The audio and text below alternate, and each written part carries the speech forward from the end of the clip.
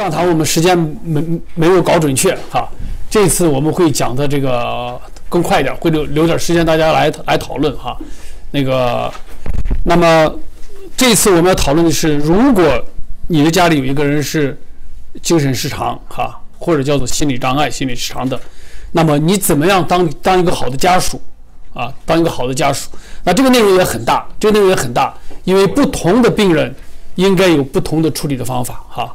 啊我们这里只能讲一个一个讲一个大的原则哈，讲一个大的原则。啊，OK，这个是我们在那个不在你们的 book 上写的那个内容。啊，那这个你们刚刚已经知道过了哈。我呢原来是啊精神科医生，这个我就不用再讲了哈。所以我原来是做医生出身的，不过我的观点还是 觉得这个啊治疗病人真的是很重要，但是这个所有的人离开世界。去哪更重要哈，所以这是为什么我后来不不再做医生了哈。OK，那在这以前呢，呃，我先今天呢，我特别把丁文姐妹请来哈，这个我很感谢她，因为很多有了心理障碍的人其实并不大愿意去分享，但我今天给丁文姐妹讲，我让她分享一点，她作为一个有抑郁症的病人，她有什么感受。你要如果知道他们的感受的话，你可能就不会像我们的大堂里那那个讲，你一来就给人念好多圣经，从那个大道理讲很多，你就会知道他到底是一种属于一种什么情况，然后我们才有可能像基督那样道成肉身似的进入到有苦难的人里面去哈。所以我先把时间我先给蒂文，我谢谢蒂文，对你先给大家讲哈，来患者新生，你来讲一讲，我们再讲别的哈，来，哎好，用这个嘛？其实不用。哦，哎，要录下来啊！好，那我把这样。我真的这个还好，这个题目叫患者心声。因为呃，其实我对这个精神病也不是懂很多啦，但是就是说是因为实在是太呃范目呃项目很广，而且每个人的症状都不大不不完全一样，呃，为什么发病也不一样？我只能就着我自己的情形讲哈。因为呃，其实大家都觉得很觉得呃，好像很惊讶，怎么我是一个忧郁症的病患？连我自己开始的时候，我也很觉得很惊讶，因为我一向就是一个很嗯非常正面的人，而且非常开心的人啊。可是呢，我就说是在呃，在我们的生活上面都会遇到一些呃问题啦，但是呃。我一向都可以把问题就是呃想到正面的地方，然后可是到了零五年的时候，因为很多的事情还不是只有呃一件事情，那真的是让我觉得有那种心力交瘁的感觉。我零五年的时候呢，是我爸爸呃那个时候他的那个癌症转到肝癌，从大肠癌转到肝癌呢是已经到，对不起啊，王牧师你要给我多少时间呢？没有关系是吧？十分钟，五分钟。五到十分，到十分，那我还是要尽量简短一点。这个呃，我就讲一下，那个就是让我为什么到心力憔悴，因为我爸爸到大肠癌到最后，你知道最后又这么的憔悴，这么的瘦，然后两个手医医院进出这么的多次哈，真的那个是真的会让人情绪很很。我住在这里，近他在那个中国城那一带。每次去看他两边的手都是真的管子都撑不下去了，肚子抽血没有抽水没有多就胀起来，那种心里的那种这么的不舒服哈，这么的难过。然后我先生又检查出是喉癌哈，那我也不敢跟我爸妈讲，我就不跟他讲，不到我爸爸走他都不知道，所以就是很多治疗。那我我现在呃就是嗯一直觉得我是他非常多这个家庭他做的非常多。然后呢，我才晓得，哎，我的信仰比较不一样的地方就是，哇，我以前是信的不是神啊，我以前信的是感谢神给我一个这么强的先生啊。后来我才晓得对象要在一啊，然后所以他每又要做呃，又要照这个呃 radiation，所以又要去弄牙齿，因为牙齿又会弄坏，然后又要做化疗，又要做一个这个小管子。你知道每每做一个东西哈，那个都是要呃 insure proof，那个中间真的是这种等待啊，就一直拖啊，然后我也要经过爸爸的丧礼啊，反正就是折磨的精疲力尽。中间他治疗的时候呢，又是啊那个呃过了几个没，反正你就这样看着他瘦下来，然后有一个礼拜已经就是完全就是不能吃不能喝。他说这个照的已经是喝水，他讲的他形容说喝水叫吞玻璃，哈，因为就会失水嘛，就一个礼拜就可以几天就可以瘦了九磅哎，那个人就是你今天你一看到这个人就是说这个人有病，啊，快死了有病，然后呢他就要去医生就说你一定要打那个胃管了，本来在做。Radiation 以前医生已经说你应该打个胃管，因为我知道你到后期的时候你一定不能吃东西。他就说不能吃东西，我我吞饮是我要吞进去就不肯做。可是呢，到后来说水都不能吞，那怎么行呢？谁不吃东西？我们什么样的人不吃东西都很很快就要瘦消瘦下来，所以这种都要 approve 啊。然后等到这个打开，呃，慢慢呢做了胃管，你知道这个中间讲起来很快啦，只有五分钟，对不对？可是中间那种煎熬哈。然后等到嗯，他做完了啊，一切好了。长话短说，一切都弄好了，都都已经医生说检查都都都好了哈，cancer free 了。那个时候我记得是差不多五月多六月的时候，诶，到了八月初，我都已经其实事情已经过去了嘛，都已经很好了，最痛苦的时候都走过了。等到，当然我还有一些其他事情，我也不带了。生活上，我我有儿子很很不好乖的事情，然后我也也有家里有一些事情，也让我心里就是我家自己原生家庭不是我自己的这个。然后等到呃，也有一些，就是说全部事情加在一起，我到八月之后开始我说。哎呀，怎么搞的？我我人的体力就越来越差。我开始的时候还不太知道为什么，就是体力越来越差。大概八八月的时候还有个八百分之八十吧，到了九月就剩下个六十，到了十月我就已经躺在床上就不能动了，就已经是完全没有，每一天一天的躺在床上，然后呢心悸起来走，我走到哪里一坐下来就。我说哦，因为缺乏运动，所以心悸，然后手也会觉得四肢有那个 tingling，就是就是就觉得反正就是全身都不对，然后起来嘛，刷一个牙啊，就是怎么行尸走肉，有身体没有灵魂。那我们家人通通没有忧郁症的这例例子，所以人家说到底怎么回事啊？我说。然后，然后我就说，我觉得我每天顶一个头，那个头啊，不是我的头哎，里面好像那个豆腐豆腐脑乱七八糟。后来慢慢我说说，如果我跟你举例吧，我如果豆头头里面要有五根电线可以工作的话，我就五个电线都没有连在一起了。然后要去哪里？去餐厅？去什么？今天有什么人过生日一定要去，我就想哭，一想到去。是要去工常说，我就想哭。今天一想去买什么东西，我就想哭。连因为那个，我想脑筋可能跟耳朵也是连在一起。我我去超市，你们有没有注意到超市有冰箱？有时候常常这样，嗯，一停，嗯，那个我听到我就要发疯的，受不了。就是那个，然后都不知道为什么，然后慢慢就一项一项检查。然后有一个朋友，他是护士，他就跟我讲说：“你什么病都找不到，你就要去看精神医生啦。”但是我就心里就很想哭，我说：“那我完蛋了，我永远好不了了。”包括用精神病来，我没有精神病，很正常很正常。这是我以前对精神病的的那个定义。就我后来看了第一个精神科医生，因为他也不跟我解释，我也不开吃了一个精神药也不好，我就不想去看他。然后辗转经过一个师母，也许你们认识他，他是去新疆做宣教的，后来他去了新疆，他是台湾来，他叫他先生叫张典玉，我不知道你有没有你们有没有听过张典玉牧师，台湾来的先生叫蔡太太叫蔡淑仪，他得过忧郁症，但他也好了。我以前也说你得忧郁症，你这么爱主的，他也是太累了，太累了。不过他就跟我介绍了这么一个呃精神科医师，是跟人寿跟秀竹都很好，台台台大医学院的，他就 也是个基督徒，他就呃我就去看他啦，他就会跟我很分析，我就觉得心里至少我看一个医生，你一定对医生你要有一个 trust。你才会比较哈，然后他就跟我讲，他就听我讲，他说，我说我每天早上躺起床，我躺在床上，我就说，哎呦，这怎么办？我这一天怎么过？他说，我跟你讲，你这个叫标准的忧郁症。我说。我不是忧郁症呐，我说你以为我不起床是我心里很忧郁吗？因为我身体很难过，我身体起不来，我很难过，我躺着。他说那个就定义成忧郁症，他就给我吃药了。他跟我分析，他说一个忧郁症中间很多人跟我哈，如果就算很多弟兄姐妹说你读经嘛，你听音乐嘛，我说哈，我一个字都放不进去，我一点音乐都听不进去，我一点圣经，因为你脑筋已经就没有脑筋，你怎么可能听听圣经？用听的、看的，怎么？结果这个医生跟我讲，这时候我就觉得我自己那时候我会觉得很不属灵啊，怎么圣？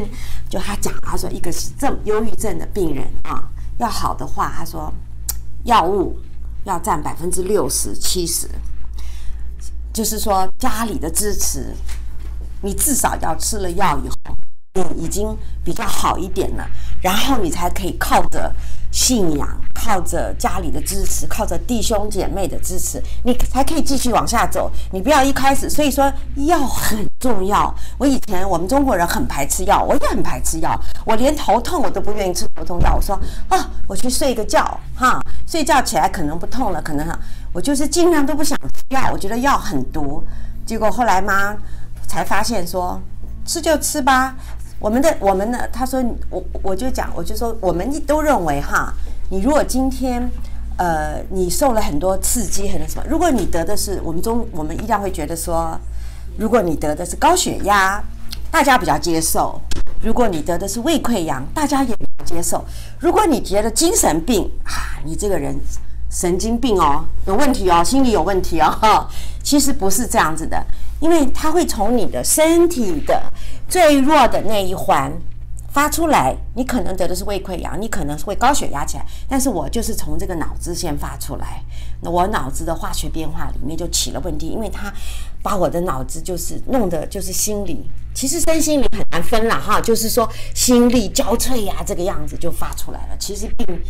什么都弄完了，就是把我那段时间搞的人，真的是叫做我我没有办法形容，真的叫心力交瘁。我我没有办法说那个真的叫做把你弄的哈打打的简直是打击的哈，就是然后再爬起来，再去医院再爬起来这样子哈。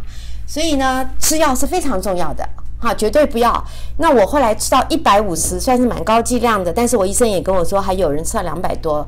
那后来我吃了好多年，我就很稳定啦。然后我就慢慢一点一点要，我就想说，哎，吃这么多年试试看降下来。精神病的药一点一点往上加的，要降下来也是要一点一点的。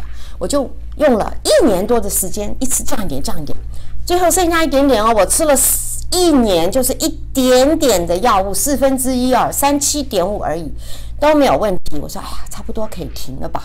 停了四个月，我就回来了，所以我可能这么一点点药物，可能我一辈子也许就没问题，我就不知道了，不能试试看的啊。也许又有事会刺激，我又开始吃了，因为我开始头一昏一动，我已经知道了。可是第二次我再吃药呢，就不是这么快好。同样的药哦，就那次我就更能够感受到药物是百分之六七十，同样的药五五六年呃没有哦。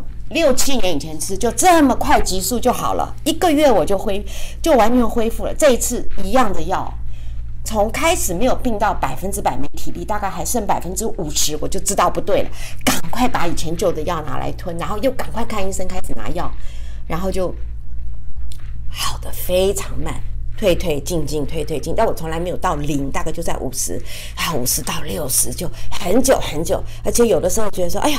这个这两个礼拜以后有好一点，只是说我有半天觉得哎脑筋清好一点，但是第二天又会退一点，不是这样子一路，所以退退进进，但是还是一直有往上走。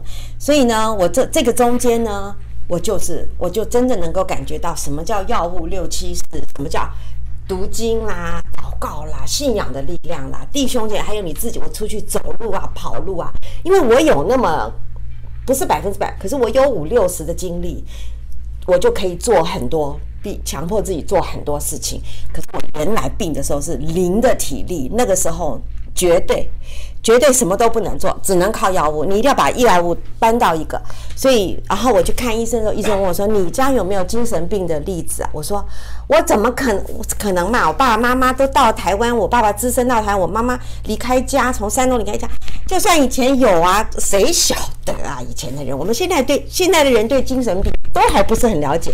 那早期的人，中国大陆那几十年以前的人，几一百年以前的人，怎么可能？”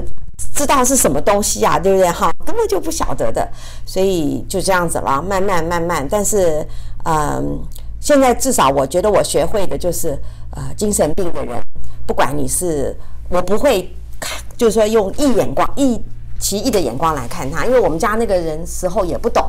我先生有时候还会跟我讲，It's all in your mind。It's all in your mind，我就觉得我我很心里好伤心哦，我已经这么难过了，然后我还有神经病啊！我明明我说我我说今天你如果没有没有这个精神病，就不难过。我请你去躺床上躺半年，不准你起来。你说你痛不痛？三天你就你就动不了，你就会难过的不得了，不准你起床哦。在床上给我躺三天三夜。我说我那么神经病啊！可是我们不懂的人，然后就会这样子想，而且还会说：“哎呀，朋友来玩一玩呐、啊，就好啦，就开心，做你喜欢的事。”绝对不是这样子的，你已经难过到这个程度，你怎么可能光去做一些你你喜欢的事情？是脑子生病了，你要把脑子当做一个器官来看。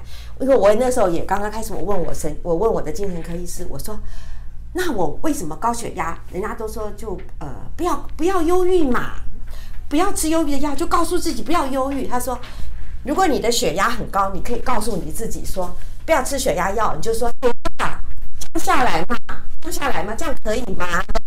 当然不敢。忧郁症也是一样，你不能告诉自己说你不要忧郁，不要忧郁，开心就好了啊，不要担心，那就好了。没有这种事，一定要吃药，所以。不要反对吃药，鼓励旁边的人，有任何朋友亲戚，如果就是说要检查。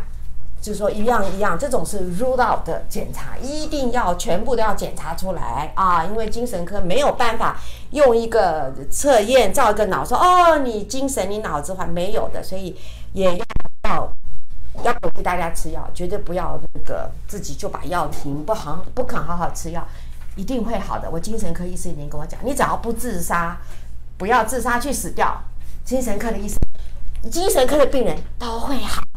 要会好，所以呢，就是说也要大家鼓励，因为不一定你什么时候也会得。我们脑子就是一个器官嘛，不一定啊。也许你七十岁你才发，我妈妈就是八十岁发的，被我诊断出来的，因为她很害怕，她被吓死了。然后医生说，因为她那颗病很多，医生说一定要出院，医健保不给你住了。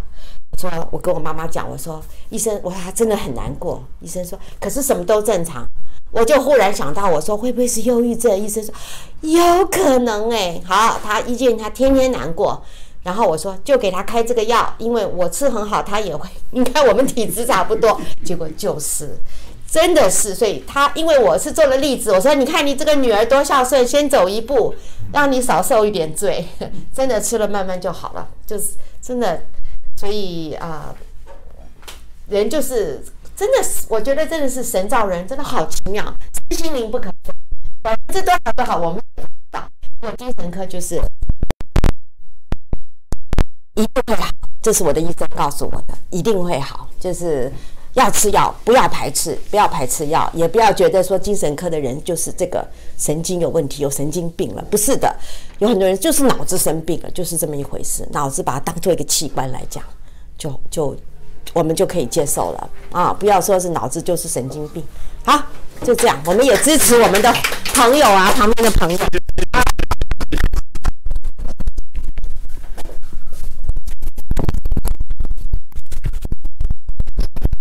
所以呢，啊、刚才丁文讲的是他自己得抑郁症的过程哈。那我要对他的所有的话来分析的话，我想我们需要另外一个小时，我来讲他刚刚讲的很多话的内容哈。他讲的很多话的内容，有些东西是其实是他自己体验出来，其实是蛮专业的哈，蛮专业的。啊、那我在这里的录了几幅画哈，那这个这都是有过心理障碍的人自己自己做自己做出来的画哈。比如这张画的话。在一个抑郁症的病人看来呢，我们说他一切都是好，他把他把我们的好都会都会反向去思考啊，都会反向思考，没有办法的事情。OK，好，那我们现在来看我们今天要提到的哈，呃，一个人家里有了有有了病人以后，家属会因为爱陷到一个很大的困境里头，啊，家属遇到的挑战其实非常的大啊。那么啊，简单来讲，家属会遇到很多的困难。因为家属自己的生活模式要被迫改变，啊，当你家里有一个人，啊，我们家里有任何一个疾病的时候，我们的生活模式都会改变。比如说你们家里有了一个癌症病人，比如说你们家里有了一个半身不遂的病人，啊，比如说你们家里有一个小孩子吃东西过敏，很多食物不能吃，你的生活习惯都会被改变。但是你家里如果有一个心理障碍的病人，特别是比较严重的话，你的生活模式被改变的更加的厉害。所以这对家属来讲是没有人自己愿意被改变的。我跟你讲，人都不愿意被改变，这本身会造成很大的问题哈。那么，这个家属被改变以后呢，家属常常不要说病人自己都不知所措，对这个病人没有什么办法，但是呢，他又逃脱无门，因为他爱这个人，所以家属的压力其实蛮大的哈。那么，如果病人和家属双方都对心理障碍没有了解，然后双方就会形成一个恶性的互动。我们有其他的疾病，双方互动是想要往好。就算你们家里有一个癌症病人，你们双方还是互动着往好这个方向走。哪怕大家觉得癌症不好治，可是大家心里都一直要往治。你如果遇到一个精神病人，像地文，如果比他更严重的一点的，或者还有很多其他类型的精神病人的时候，根本不认为自己有病，你就惨了。他根本不去看医生，他根本不去吃药，你的一切处理都做不了。然后你要叫他改变，他根本不改变。你。你的压力大的不得了，然后两个人互相恶恶动，然后你自己家属的方式不对，就让病人的病情加重，病人病人加重，反过来让你这个更加困难，啊，呃，然后呢，因为家属在里边的冲突，家属在外面的功能会减弱，你的上班一定会受影响，你的学习一定会受影响，你的人际关系一定会影响。那么对患者呢很担心，既怕患者冲动伤害别人、伤害家里，又怕患者伤害自己。那种，特别是遇到严重的抑郁症的病人，那种不可、那种防自杀那种紧张心情，你是随时随刻都会存在，啊，那你在遇到另外的病人，不是比如说像精神分裂症的病人的话，那种冲动伤人，你会很紧张，你会对你自己很紧张，因为太多的人被自己家里的亲人伤害，因为他是精神疾病，而且我们也知道，精神疾病伤害了以后，从他来讲不负法律责任。从你来讲带来很多的问题哈，那么自己一定会因为刚才像丁文讲的社会对心理障碍的误解，你自己得不到真正的支持，你会精疲力尽，你会觉得都没有人理解你，不光病人觉得，家属也觉得没有人能理解我，所以做一个心理障碍的家属其实压力蛮大的哈，家庭里边的关系会乱掉，因为家庭里头。这个得病的人和你的人，你们两个角色开始变，整个家里角色全都开始变。比如说，原来家里是我在家里是家里的主心骨，现在我不能支持家里头了。请问家里多少事情要开始改变？谁来挣钱？谁来带孩子？整个事情变掉，然后一个人一变，整个家庭全部变掉啊！所以，另外一个，因为这种疾病也是长期的，有时候你还又不想给别人讲，你的家庭的经济负荷会会非常重哈，所以。压力很大。好，那么我首先要在这要讲，心理障碍不是什么。我首先讲心理障碍不是罪。我讲的是具体的每一个病人不是罪，不等于说从整体来讲，世人都犯了罪。我们大家在罪恶的世界里头，我们根本逃不出罪。当然，疾病是罪的结果，但是我讲的是这个具体这个人不一定是犯罪，有没有可能他是犯罪的结果？有。但是这个很难判断，你不要轻易去做这个判断。比如我们前面讲到，真的有鬼附体，他一定有问题；或者有人真的干了很坏的事情，然后整心提心吊胆，到最后吓出病人，有没有？一定有。但是我是笼统的来讲，不是罪，啊，不是罪。这个是我要这样的来讲。心理障碍不是什么呢？心理障碍不是道德败坏。心理障碍的人并不等于心智不全。反过来讲，心理障碍的人也不等于聪明过头，啊，不知道你们知道不？精神分裂症的病人有时候很聪明哎。如果画一个时间的，画一个统计的正态正态曲线，精神病人在两头哎，在另外在这一头就什么都干不了，完全成社会的这个负担；从另外一头就是很聪明的人。很多非常聪明的科学家其实都不正常，很多很聪明的艺术家都不正常。有人讲世界各国的领袖根本是病夫治国，大家很快想到，创不可能就是。其实，但是我们不能用笼统的观点讲，要不然说这些人就是笨的不得了，或者这些人就就是太聪明这样子，这样都是用我们的观点去衡量，其实不能简单哈。啊，有心理障碍的人不等于他是个素质低下的人，不是说这个人他这个人从来素质低下，从来就是不，所以他最最后必然走到这一步。No No No No No，不一定哈。当然也不是自私。心理障碍的人不是故意要让别人蒙羞，故意不和家人配合。不是故意的不承认疾病，不是故意的夸张他，不是故意的为难人，都不是的，也不是故意的拒绝，是他自己由不了他自己了，他的他的整个他的知情意整个系统已经乱掉了，啊，所以这个是我们要认识的。所以呢，心理障碍、心理障碍，你也不能简单的说他是脾气怪异。我们见过很多脾气很怪的人，一辈子从来没有心理障碍。OK，有的人心理一直都是很好的，他是出心理障碍，所以不能用这些简单来讲。啊，也不能觉得心理障碍的病人是自怜。有人是这样，你看他就是为了叫别人照顾，好像故意把自己每天晚上可兮兮、可怜兮兮的，像这个说现在躺在床上起不来啊，你就是为了叫家家里人来照顾你啊。有人这样讲病人，他就是想叫别人照顾，不是的啊。另外，心理障碍病人并不是完全没有责任能力。有人说得了精神病，犯法都没事儿，不可不是的哈。司法精神病鉴定是很严格的啊，很严格的。OK，好。心理障碍不是单一原因造成的，这是我要讲的。刚才我们讲到有很多的心理障碍，如果我们要治根的话呢，希望找到他的病理生理的基础。但是除了病理生理基础以外呢，有环境刺激。他刚才讲到有环境刺激，他们家里遇到了一连串的事情。可是从另外一个角度来讲，同样的环境刺激底下，并不一定每个人都得病。明白我意思没有？一定与他本身的生理上是有关系的，只是我们不清楚。那么生理这部分原因呢？有的是天生如此，有的未必是天生的。天生里边又分两类，有一部分是遗传的，有一部分是不遗传的。什么叫不遗传的？举个例子来讲，当妈妈怀孩子的时候抽烟、喝酒、吸毒，这个孩子的大脑被损伤，那不是遗传造成的，对不对？可是那是天生的，对不对？那是先天的。OK，有一些生理生化的改变是后天的。我后天，比如说我被人脑袋上打了一棍，打得太重，脑子打坏掉了，以后再也好不了了，我以后就成心理障碍了。这个人是后天的，所以不是单一原因的。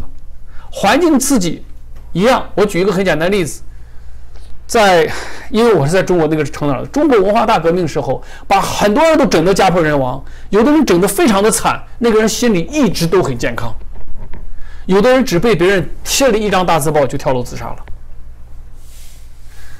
不是单一因素。有人说他孩子得病是因为在学校里被老师打了个嘴巴子犯病了，有的孩子在在学校天天被老师打嘴巴子，那孩子就是不得病了。所以环境刺激不是唯一因素，生理也不是唯一因素。但是我们只要记住它不是单一原因就好了哈。好，既然它的原因很复杂。所以改变环境未必有效，明白意思没有？就像刚才讲的是，领你出去玩一玩就好了呀？你以为玩玩就好了吗？你以为环境一热闹它就热闹吗？它根本热闹不起来。OK，改变环境未必有效，说服教育未必有效，可不是说说服教育没用没作用啊。教导他，帮助他认识东西不是没作用，但是不会绝对有效。康复不可能一蹴而至，它不是不治之症。也不一定它的结果必然要疯，必然要傻，也不是靠灵丹妙药。刚才地文讲的，我很感谢他遇到合适的药。我告诉你，我真的遇到病人，什么药都用病，一点用处都没有的。心理辅导也不是必然有效，也是对每个人。我的意思讲什么？心理障碍很严重。刚才地文讲的一句话非常的清楚，非常的准确，心身灵分不开。心身灵复杂到一个程度，你在具体这个人身上，你有时候真的找不清楚到底用哪种方法是最好的。不过，刚才我们讲到，当你一个人有了生理生化的改变时候，会造成你的心理障碍。我再从另外一个角度来讲，当你有心理障碍的时候，会导致你大脑里边的生理生化改变。这就是为什么他刚才讲，他遇到了那么多的严重事情以后，家里出了到出出了到最后，他开始失常了。一个人天天有很大的精神压力，大脑里边的分泌是会改变的，会从心理导致生理改变，而导致生理改变以后呢，如果太长太久，有可能成为不可逆的。这就是他刚才讲到的，为什么后来再去吃药效果没那么好了？可能中间有些东西是不可不可再往往回倒了，很复杂，非常复杂。所以，这是我们在讲到遇到心理障碍的治疗。那么家属怎么处理？第一个，家属要善对自己。呃，基督徒还是要祷告，要与神同行，求神赐下智慧。作为家属来讲，尽可能保持家属自己的正常生活作息。我知道这点很困难，但是请你记住，你要是不好，你没有办法帮助他。我刚才讲到了，你会被迫改变生活模式，但是我在这要讲，你尽可能维护正常生活，这是你做家属第一条。那么你要接受和享受你的功能角色已经改变了。你不要垂头丧气。哎呀，我被他改变，我没有办法知道这样子，你就这样子了。你要改变，就像你结婚以前，你们是朋友；结婚以后是夫妻。你得接受，你得享受你的角色改变。当你家里有了一个就是心理障碍的病人之后，你得接受。你说我享受，你要是能接受的好的话，其实我们世上的事情，从这来讲，我都觉得都是神的恩典。但是不容易哈，每个人去。好，第第四个呢，要尽量的去学习，要多学相关知识。第二，而第五个呢，要保持对外开放。保持对外开放一个很很好办的办法，加入互动小组，有这种抑郁症病人的家属小组，精神内分病人的家属小组，酗酒病人的家属小组，你们之间的互动很重要。你要去听别人怎么处理，你要去了解，虽然不能照搬，但是会开哈。然后呢，要定期的脱离环境去休息。这个其实很难，但是其实很重要。你有时候需要离开一段你这个环境。我们知道，在那个环境里边，你看着不高兴。你如果能够找到，比如说家里有一个有有一个病人，是有心脏的病人，我举个例来讲，比如说严重抑郁症，或者你如果能有人暂时替你管理几天，你离开他，自己到外边去休息一段时间，其实是很重要的哈。然后呢，你自己要接受专家的这辅导。你们家里头有了一个心理障碍的病人，一个好的方法要接受家庭心理治疗。啊，在美国有，在中国也现在慢慢开始有，当然要付费哈。家庭心理治疗，他是来不是治疗这一个病人，他会治疗你们全家，他会了解你们全家每一个人都有什么问题，他会注意你们家的互动有什么问题，他会帮助你，所以你要接受治疗。然后呢，按时服用适合自己的药物。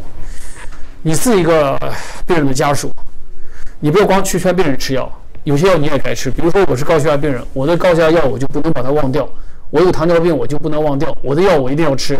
那我如果我最近也睡眠不好了，我可能也需要吃药。OK，所以你自己这一份别忘了。所以家属首先善对自己啊，这个我们啊只能这么快快来讲。第二个，家属怎么样对病人？如果有可能，还是要和病人一起来祷告，以满足病人的灵性的需求。刚才丁文姐，丁文姐妹讲得很清楚，他即便在最困难的时候，他其实还是希望有祷告的，只是他祷告不下去，他也并不完全反对读经，只是好像不能帮助。可是他只是已经是个基督徒，他一定有灵性的需要。所以如果有可能，你还是需要和他做这些事情，不是说不要做哈，这是。我我提到的哈，那另外一个呢，就是对病人的爱。对病人的爱呢，在这里就表现为宽容、怜悯、同理、忍耐、自制、自制你自己哈。好，那么你对待的是什么呢？最怕的是你在对待一个病，其次呢，怕你在对待一个病人。真正的你要对待的是一个人，明白没有？对待这三个层次是不一样的。你依然把它作为一个人来看待，和你把它只作为一个病人看待是不一样的。他依然是你家庭的一个成员，是你认为他只是一个给你添了麻烦的病人，你的整个观念不一样。如果你在只对着看病，那会更不一样。你整个自己不不一样哈。好，对病人不评论、不争论、不施压、不惩罚。我们没有时间，如果有时间，我会跟你讲什么叫不评论。我们会有具体的例子，什么叫不争论，什么叫不施压，什么叫不惩罚啊？这个我想都需要更多时间来讲。不企图获得病人同情和奖赏。有时候我辛苦成这样子了。那个病人一句好话都没有，你从你的内心先把这个观点拿掉，你根本不要企图从病人那里得到同情和奖赏，啊，这个大概有点像我们耶稣基督做事情是不求回报的，你把这个东西要拿掉哈，你要学会对病人有正向和负向的啊效果，你要知道你的什么样的效果是负向的，什么是正向的哈。好，那么对于病人来讲，家属对病人还有一点很重要的是很容易忽略的，当病人好转的时候，其实是遇到一个很大的挑战。很多病人在他病的期间他没有知道，等到他一旦他开始病的好转了，比如说抑郁症病人，他突然发现自己原来前一项是有病，现在发现我都会有病。他突然发现我原来给家里添了那么多麻烦，我突然发现别人是这样子看待我。当他病最重的时候，这些东西他根本脑子里都没有。他根本不，可他好转的时候反而出问题。抑郁症病人自杀率很高的时候是在病情好转的时候，不是最严重的时候。最严重的时候，他脑子里根本不转，他根本不知道要自杀。我告诉你，真正自杀的病人是在开始和好转的时候，好转到一定程度还没有完全好，他忽然觉得我怎么给别人添这么麻烦？我真是罪大恶极，我不如死了算了。啊，所以病情的好转对病人是一个新的挑战，比如家属千万要注意。另外呢。当他好转的时候，他才要知道他怎么去独立，他要重新去独立，因为他一直在被你照顾。他原来有一个段阶段他已经已经不能工作了，不论什么疾病，他要重新工作，他怎么才可能重新工作呢？别人对他怎么看呢？他的他一定会有很多新的问题，所以这是家属关键。好，家属要知道疾病是有可能复发的，复发的可能是存在的。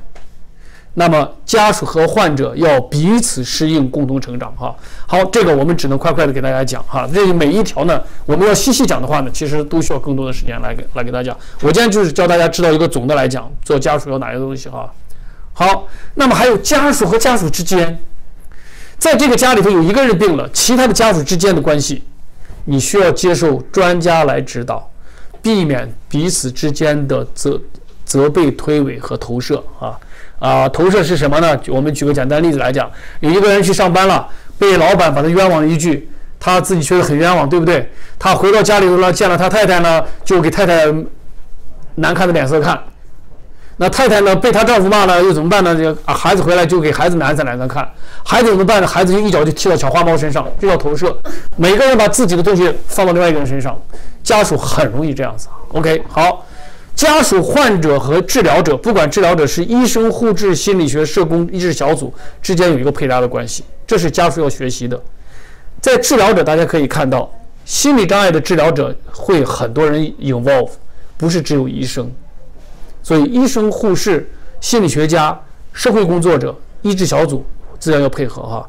那么家属呢，要寻求社会的支持系统，除了医院、心理学家以外。心理障碍需要有宗教团体、有政府、保险公司、警察、社区、其他一些 NGO 机构甚至研究机构的配合。因为心理障碍，我们知道的内容相对躯体障碍来讲，我们知道的还是太少。心理，所以我们这次给大家那个本儿里头呢，有很多的，就说你如果遇到紧急情况，你去联系谁？联系警察，联系我们当地的这种呃呃呃急诊救系统等等哈。美国的每一个急诊室的医院里边其实都有，如果遇到心理障碍的话，他会紧急去喊谁？所以这是都需要的。那么家属与自己的朋友之间，很多家属当自己家里有重病的时候，他会发现自己周围的朋友慢慢慢慢离开他。离开的原因其实是两方面，一方面是有些朋友自己离开，一方面是家属自己的态度不对，把朋友赶走。所以家属怎么样和朋友相处很重要，没有朋友支持，很糟糕的事情，你需要处理好。还有一个家属与自己的雇主，当然你如果是老板，你你的雇员的关系。这些东西，当家里有一个心理障碍的时候，影响很大，比你家里有一个躯体疾病的影响障碍要大太多哈。所以这里都有很多功课要学。好，最棘手的问题，心理障碍病人对于家属来讲，遇到最大的问题，第一个是我们讲到疾病和灵性的问题，这个人到底是几分病几分灵性的事情，这是很难处理的一件事情，是你要去面对的问题，啊。刚才那个牧师讲，他觉得很困难，我也觉得很困难。对家属来讲，这个问题更困难。啊，刚才弟兄不是讲了吗？你那个时候你让我去读经章祷告，一一对他来讲，虽然他觉得可以做，但是他就觉得就是没用。而且事实上呢，在某种程度的时候是没有用处的，啊，是没有用处的。一个非常属灵的人，一旦得了精神疾病，你可以觉得他这人完全退回去，因为他大脑已经乱掉了，你根本不能那个时候再去做这方面判断哈。那另外一个很常见的问题就是，这个病人他拒绝疾病，他根本不认为自己有病。第一轮开始不能，他开始刚刚才讲，他开始其实也不承认自己有病，他一直认为是是躯体的问题。其实我讲那些躯体问题是我们叫做以躯体症状所掩盖的心理问题。很多人不要吃药，他就吃了药了。严重的精神病人都不吃药的，那个分裂症病人和严重的抑郁症病人，严重的想自杀的病人，你把药是很难给他吃进去的。怎么去做很难啊，很难，这是非常啊棘手的问题。啊，自残自杀的问题。有心障碍的病人会会伤害自己，啊，特别是严重的抑郁症病人。严重抑郁症病人是精神分裂症病人也会自杀，但他的自杀呢，啊，不可控，就他自己不可控。啊，抑郁症病人是自己可控。抑郁症病人自杀为什么很可怕呢？他可以安排的很好，叫你看不出来他要自杀，然后他就自杀掉了。他可以假装的他不抑郁了。他可以假装的好转了，可以假装的完全接受你的劝阻了，然后他突然自杀掉了。抑郁症病人自杀很可怕，就在这个地方，因为抑郁症和精神分裂症不一样，精神分裂症的病人，他其实他的知情意之间是分裂的，他和外界是分裂的，他不能做好的计划，你可以预测出来他会不会有什么行动。抑郁症病没有。抑郁症的病人，他的知情意是协调的，虽然他内部思想很慢，情绪低落，行动很少，但是他的里边虽然想得很慢，他可以很慢很慢，用好几天时间制定一个严密的自杀计划，因为他自己没有乱掉，所以他可以骗过你，所以这是很难的事情啊。所以自杀自残，那么对别人呢，你很害怕暴力冲动，啊啊。在精神科，在精神病院医院里头的医生护士，那我们都要说这样教导。比如说，来了病人进来，我绝对不能我坐在里边，他坐那儿，我一定要我坐那儿，他坐这儿。为啥？我要跑，门在那边，我要跑啊！我坐那儿，他忙我，我我就完蛋了。这是精神科医生都常规训练的，啊，那将来我们和精神病人谈话，我们绝对不能坐面对面，我们要侧着点儿，他坐这边，我坐这边，我不能让他一拳过来打我脸上啊！有的事情的，所以家属也是有的了啊，所以。这个暴力冲动是是有的哈，是有的。抑郁症病人少，精神分裂症、人格障碍这方面是很多的哈。另外一个问题，有一部分病人，我们讲刚才第一位讲的话，他讲医生讲的说都能治好了，但是如果我们站在一个实事求是的来讲，有一部分病人是治不好。这个最可怕的是生理生活紊乱，社会功能完全退缩，你就得一辈子把他带到身边。你就得一辈子把他带到身边啊！这个、这个、这个是很棘手的问题。你不像得了其他的疾病，那心、那心脏病啊、癌症病治不好，治不好就走了。这、这种精神障碍的病，说句老实话呢，你只要处理得当的话，这些这种人死不了的。这个包袱你要背啊，你要带啊啊！然后我，所以我们教会里头，我很敬佩我们教会的刘刘成刘大哥。带着这样一个痴呆的女儿，一直带着带这一辈子啊，带这一辈子真的不容易哈，真的不容易。好，还有一个问题，精神病人如果稍微好了一点儿，他要谈恋爱，他要结婚，你让他做不做？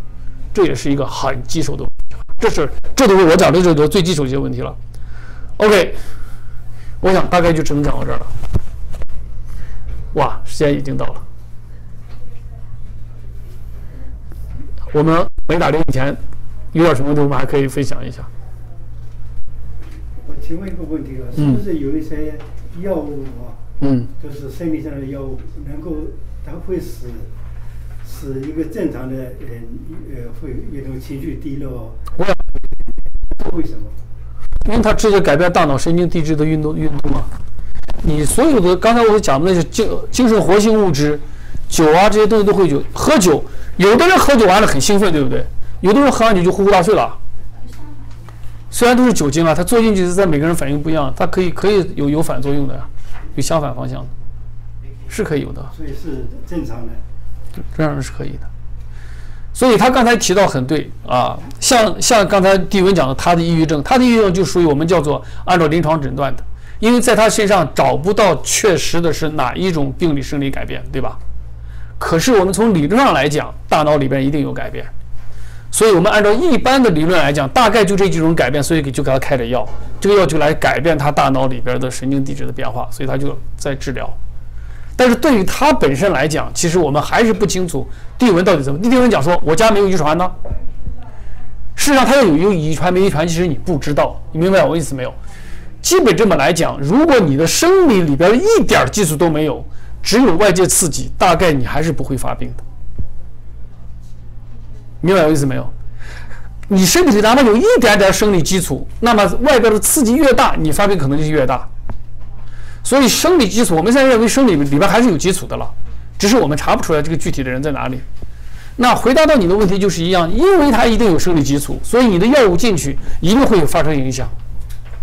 只不过先到哪一步的问题。比方说就是癌症的药，嗯哼，本来但是那个会吃了以后呢，这个人变得很低落，很很很消极，很什么。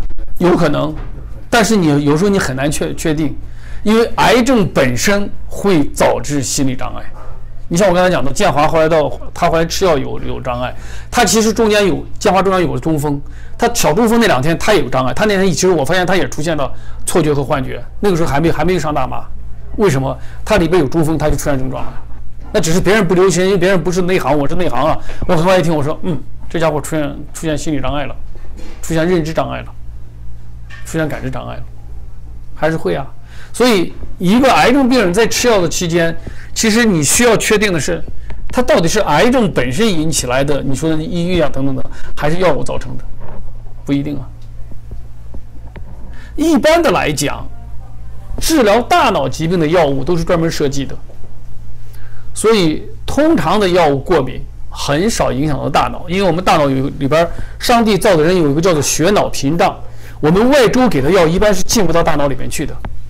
专门能够治治疗大脑的药都是专门设计过的，所以那些精神活性物质是可以自动穿过血脑屏障的，它可以从那个血管里边进到细胞里边，出过出了血细血管进入到脑细胞里边，那个那个上帝造的屏障是很奇妙的，一般是进不去的。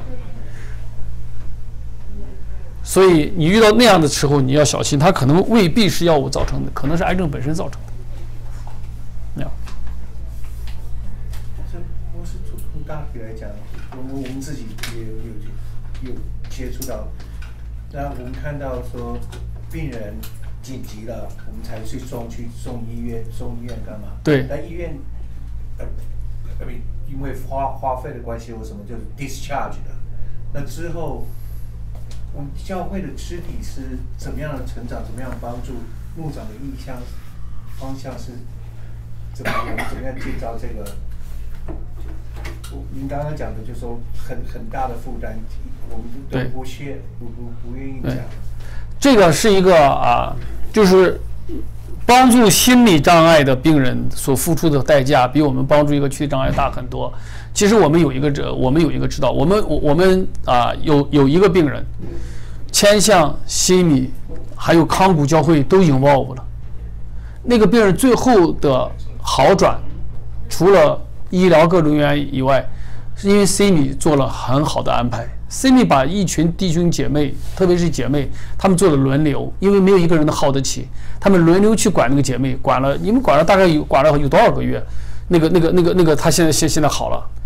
那个那那个那个开始我们也去过，我也去过一两次。那个那个根本，因为我去我就给给我们教会讲，我说这个东西不是你去一次两次、一个月两个月的事情，得有人长期有人陪。可是你要知道，陪一个有心理障碍的人是很痛苦的一件事情，因为你会被他的情绪影响。所以教会要做这样的事情，就是需要要有有一个团队的人，大家在这方面都有装备，然后呢，要和这家属要要要要要能够去配合，然后去轮轮流去做。就是说这件事情急不得，你只靠一两个、两三个人，最后一定会一定会会会耗竭掉。那 C 米教会那件事呢做得好，就是 C 米教会它有一个梯队，它很有程序的，就大家轮轮着去，而且每个人去，你也知道你做的事情今天未必今天能做成啊。类似我们说给吃包子，那个人做好的话，第十个包子好的，我不管是第几个包子，我就一个个来喂嘛，我就该怎么做嘛，到什么时候啊？做心理方面的是更更加的费劲，更加的费劲。那教会教会要做面还有还有更多的事情。我给你举一个例子来讲，你就知道它的复杂性。呃，我曾经在做精神病的时候，我曾经被啊、那个孩子不在不不叫被告，那个在中国啊，不像美国现在现在也也也还没有这个 Me Too 的运动。那有一个精神病人来到我们医院、来给医院来讲，就说我我我我我我把他抛弃了。什么叫我把他抛弃了？他说我跟他谈恋爱。我说我我我我什么时候跟你谈恋爱？根本没有事情啊。哎，他说他有很多证据啊，证明我很爱他的，因为他有他有叫做他有妄想，他有妄想，所以他把我的很多的说法做法，他都把他妄想成那是我对他在表示爱。那那因为我有，因为我们在精神科医生，我们有训练，所以我们所有，比如说我是个男医生，我对女病人的时候，我中间啊就有很多的要求，呀，我所有事情都都需要要要有旁证，不能出问题。不过现在更麻烦了，男病人、男医生对男病人，我看将来被告一下更麻烦。所以教会里头也是一样的，就说你要做这样的事情，一定会你你，反正你要明白，要有一些规则，你要要要有规则去做。就跟我刚才讲家属一样，你家属要管管理你这个帮助你这个病人，一定是出自爱心。但是正因为你出自爱心，所以你会付很大的代价。那你付但你代价的头一条呢？你要叫你自己健康。所以我刚刚讲，家属自己的健康是第一步的。那我们教会要做的事情也是一样。你教会做这个 team，你一定要很清楚的知道你有哪些风险，你有哪些 limited，你有哪些界限，哪些东西你能跨，哪些东西你不能跨，哪些东西你必须叫别人去做，哪些只有你做，这些东西都很清楚了。然后大家慢慢 practice 的去做，是很费劲，对吧？这个比那个时候还还还要费劲。那这个跟我们劝那个 Stephen Minister 有有类类似吗？有类似，所以 Stephen Ministry 其实很，Stephen Ministry 讲的很清楚，他到一个时候他他就 refer，他就他他就不接受了，他就不做了，已经超出他的范围了，Yeah。OK，好，我想就到这儿了啊，我想这个，我大概这这两堂的内容，我我大概会分分成四篇文章写出来，第一篇文章已已已已经已经交稿了哈，那后边三篇呢，今年、明年、后年我会陆续出来。里边很多的细节，我们可能就需要更更多的时间。比如说，要专门用一个小时来给大家讲什么叫不评论，呃，不不，呃，不不排斥，到底什么什么叫不评论？怎么叫不评论？那个和别人讲话，什么叫评论？什么叫不评论？那是不一样的啊。OK，就这样了。